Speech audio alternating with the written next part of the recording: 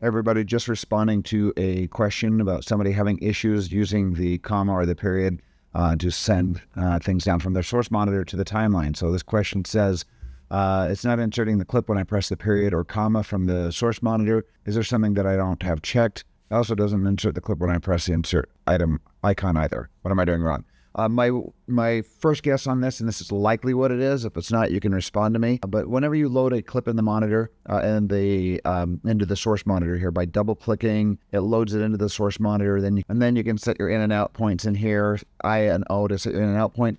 Uh, now, one thing, what my guess is that you don't have your source patching turned on down here. Somehow they got turned off or what the source patching does is it reads the clip that's in the source monitor and says this clip has a video track and an audio track and it's asking where to put it. And you can change these by simply clicking these into different areas here. See if I just go to a video that just has just video and no audio on it, it will read just the video. It's saying this is only and if, same thing if I uh, if I read like an audio file here.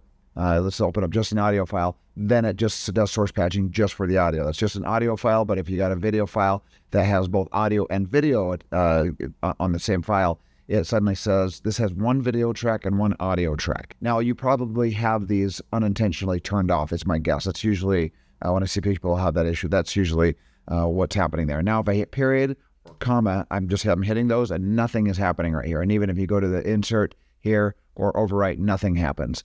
Uh, so you can either drag that down inside and drop it where you want to, or just go over and say, I want my video to drop there. I want my audio to drop there. And now when I hit comma, it does the insert. When I hit period, it does the overwrite. So, and sometimes you might just want to bring the video file down instead of the audio. So you can uncheck the audio from the source patching. It's still there. It's still reading it. Has A1 right there. Uh, but now uh, if you hit comma or period, it just drops down the video and vice versa. If you just do the audio, it just drops the audio down. And so, very helpful tool, but I'm guessing that's likely what these have, has somehow gotten unchecked.